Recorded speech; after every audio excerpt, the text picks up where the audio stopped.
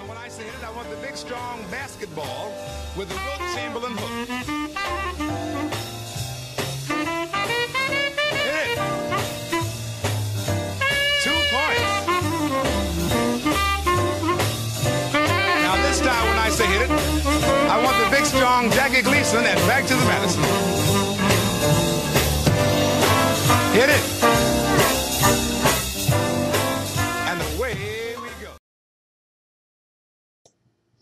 To this point, we have studied the dynamics of objects, the moon, the earth, rockets, but only as point masses. That is, the object's location was specified by one or two spatial coordinates, and the entire mass of the object was concentrated in a single point at that location.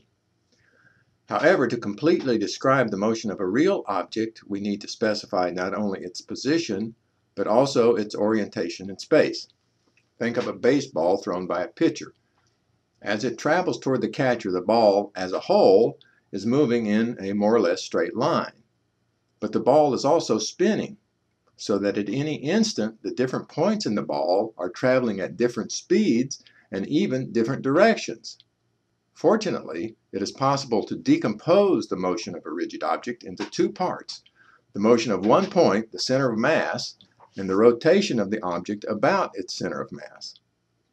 So, we can accurately describe the motion of the ball by specifying at each instant in time the location of the ball's center of mass and the rotation of the ball about its center of mass. However, to specify a rotation in three-dimensional space, it is necessary to specify an axis of rotation and the rotation angle. The axis of rotation can change from moment to moment, and it is a tricky business to keep track of it. So, we're not going to do that. Instead, we will restrict ourselves to studying two-dimensional rigid objects moving in two-dimensional space. The big advantage is that when an object moves in 2D space, defined by the usual x and y axes, then it can only rotate about one axis, the z-axis, so its axis of rotation is fixed. And we can specify the object's position with two numbers, its x and y coordinates, and its orientation with one number, its rotation about the z-axis.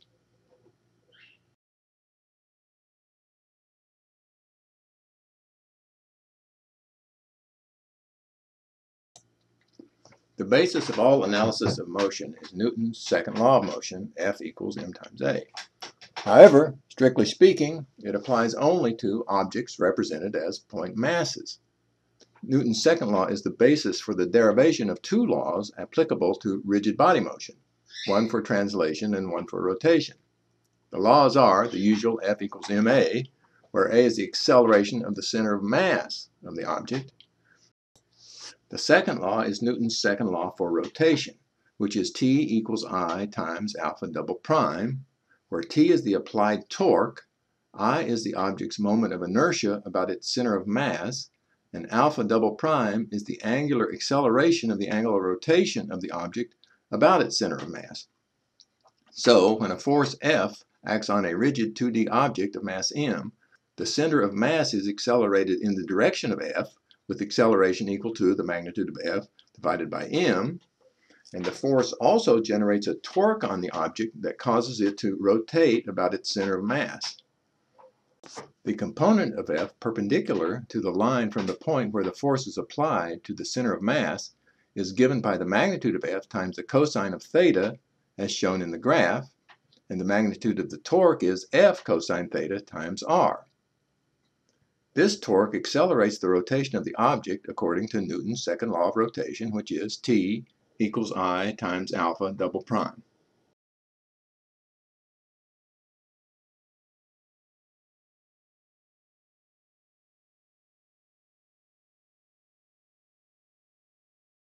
What is a moment of inertia? Let's take a simple case. Consider the diagram showing a ball of mass m connected by a massless rod of length r to a pivot point, so that when a force F is applied to the ball, it spins around the pivot. If the applied force is F, the linear acceleration A of the ball is given by the magnitude of F, indicated by the absolute value signs, divided by m. The angular acceleration of the ball is A divided by r. The applied torque is the magnitude of F times R. The question is, what is the relationship between angular acceleration and torque? So we have the equation T equals question mark times alpha double prime. Torque is F times R, and alpha double prime is A divided by R. So making those substitutions into the equation, we have F times R equals question mark times A divided by R. So question mark equals F times R squared divided by A, and if we work that out, we get question mark equals m times r squared. And question mark is the relationship between torque and alpha double prime, so I equals m times r squared. So that's the moment of inertia for this structure.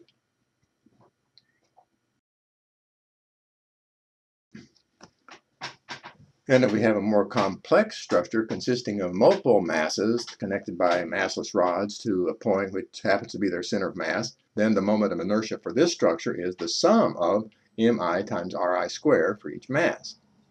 If we have an object with an arbitrary shape, then the sum is replaced by a double integral of rho xy times r xy squared, where rho xy is the density of the material at xy, and r xy is the distance of the point xy to the center of mass, and we have to evaluate that double integral to evaluate the moment of inertia.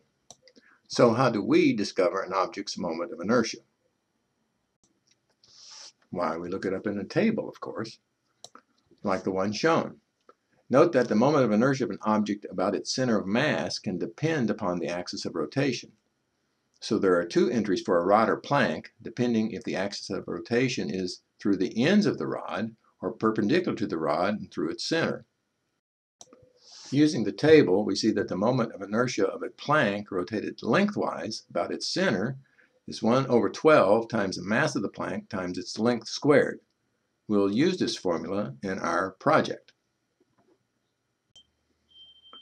And here we have it. We're going to study the motion of a plank acted on by a force as shown in the diagram. Imagine that the force is applied by a thruster attached to the plank so that when the plank moves, the thruster moves with it. So at time t equals zero, what happens? The force F is pushing the center of mass toward the left, so the object as a whole starts accelerating toward the left.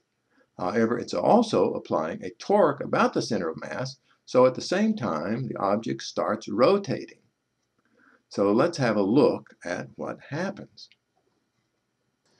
This project will be our first animation.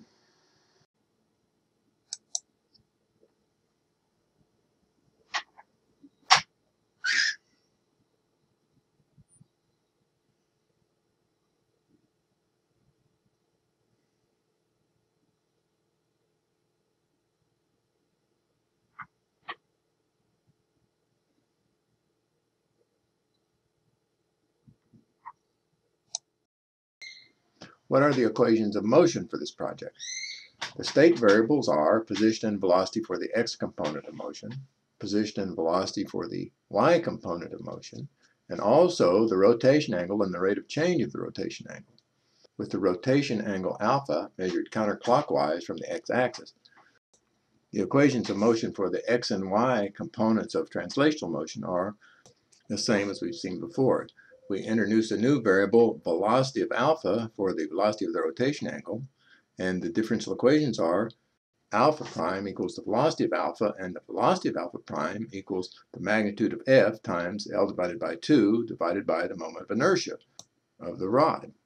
When the orientation of the rod is alpha, the direction of the force is alpha plus pi over 2, so we can resolve F into its x and y components using these formulas.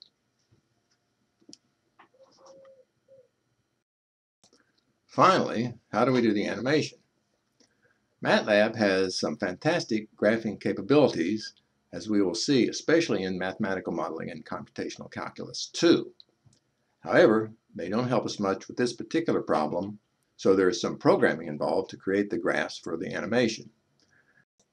Now, it's a perfectly straightforward assignment, but it took me probably a frustrating hour to get it done.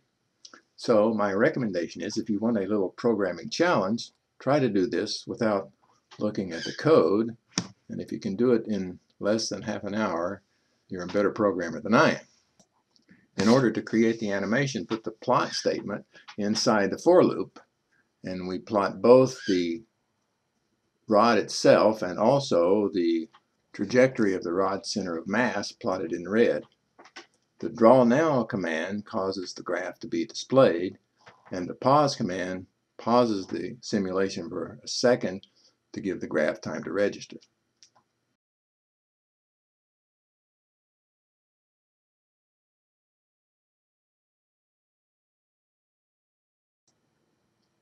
The assignment is to replicate the animation in the video.